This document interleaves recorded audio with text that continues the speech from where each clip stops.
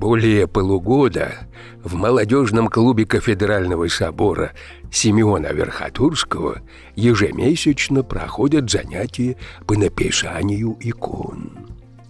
На каждом уроке ученики оттачивают навыки рисования и постепенно развивают технику нанесения изображения.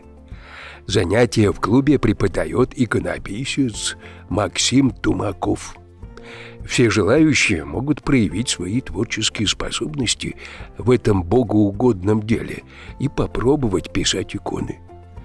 Следующая встреча иконописцев состоится 30 июня в 16.00. Адрес Кыштымская, 32.